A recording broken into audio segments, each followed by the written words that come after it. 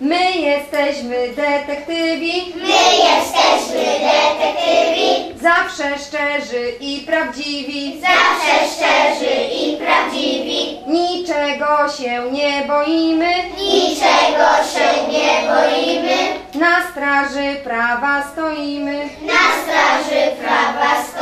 One są prowadzone w poniedziałki, środy i piątki od 11 do 13. E, I na tych zajęciach e, mamy zagadki detektywistyczne, mamy zajęcia plastyczne w jeden dzień. E, Czytamy też wybraną jakąś pozycję o charakterze właśnie detektywistycznym. Zadajemy dzieciom pracę, albo muszą narysować rysunek, albo dokończyć na przykład opowiadanie dane. E, Albo na przykład e, jakiś rymowany wierszyk, e, jakiś cytat, i też dzieci potem wymyślają swoją rymowaną historię. Oprócz tego uczymy się piosenek, też o charakterze właśnie detektywistycznym. Mamy różne rebusy, mamy też takie zajęcia z tablicą inter- interaktywną. E, Tutaj właśnie dzieci tworzą jakieś śmieszne postaci. Także mm, zajęcia e, odbywają się w takiej miłej, sympatycznej atmosferze. Dzieci są chętne, e, biorą czynny udział w tych zajęciach. I muszę jeszcze dodać, że te zajęcia odbywają się nie tylko tutaj u nas w Bibliotece Głównej, tylko we wszystkich filiach na terenie całego Sosnowca. Jest ta sama tematyka, tylko że wiadomo, w zależności od po prostu pań prowadzących, to te zajęcia się odbywają właśnie pod różnym kątem, może z różnym pomysłem, raz takim, raz takim. Dzieci też się y, przebierały, y, był agent, właśnie detektyw Hashimoto z Japonii, był też detektyw taki właśnie jak detektyw Pantera, Mm, Także zwiedzaliśmy lochy, biblioteki, dzieci robią sobie właśnie swoje legitymacje. Mamy tam dalej aleje super y, odznak detektywistycznych, dzieci je wykonały, potem przyklejałyśmy, były portrety pamięciowe. Tematem przewodnim dzisiejszych, zajęć będzie spostrzegawczość naszych agentów, kreatywność.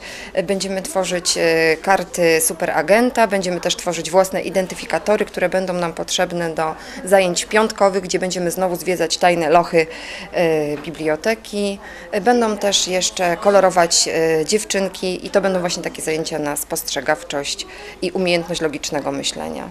Jak pani zauważa, w te wakacje dzieci rozwijają się podczas takich detektywistycznych wycieczek? Y, Myślę, że tak. Y, Przynajmniej jak obserwuję moich agentów, y, dzieci nauczyły się liczyć do pięciu po japońsku, poznaliśmy różne kraje europejskie, w tym też różnie właśnie jak jest wyraz policjant w danym języku. Dzieci powtarzały.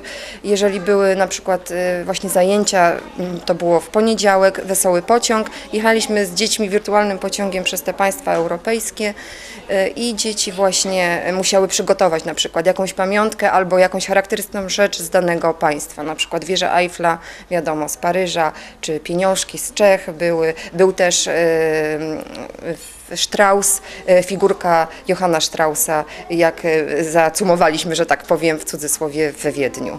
Przyszłyście na spotkanie z detektywem. E, Jak wam się podoba? E, Co tutaj robicie? Zajęcia są bardzo fajne, poznajemy dużo ciekawych rzeczy, bawimy się ucząc. A czy znacie jakieś książki detektywistyczne? E, Znałyście tą tematykę literatury? Raczej nie. Może tyle co z telewizji tam obejrzałyśmy. A czego zdążyłaś się już tutaj nauczyć podczas tych spotkań? Y, Liczyłam po japońsku, byłam przebrana za Chinkę. Co prawda jestem dopiero czwarty raz na zajęciach, ale podoba mi się. Czyli krótko mówiąc, warto tutaj przyjść na te zajęcia. A dlaczego? Jak myślisz? Zachęć może tutaj osoby przed telewizorem, żeby też się wybrały do biblioteki. Warto tutaj przyjść, ponieważ lepiej y, przyjść tutaj niż siedzieć w domu przed komputerem czy przed telewizorem. A wyjeżdżasz gdzieś na wakacje, czy spędzisz tutaj właśnie wakacje w mieście? Wyjeżdżam, ale później, także na, ra- na razie chodzę. A wam jak się podobają takie wakacyjne spotkania z detektywem? Są bardzo fajnie, uczymy się o państwach różnych. Mm. Mieliśmy zajęcia plastyczne, że mieliśmy narysować złodzieja albo siebie, potem rękę mieliśmy narysować, śpiewamy tu karaoke. No i ogólnie fajnie. A tobie kolego, jak podobają się tutaj zajęcia właśnie te detektywistyczne? No fajnie jest, bo można się nauczyć wiele, jak są policjanci, agenci w innych językach, można rysować, uczyć się rysować, y, szukać złodziei, no i jest fajnie. A jak myślisz, ta tematyka detektywistyczna jest bardziej bliższa chłopcom czy dziewczynkom?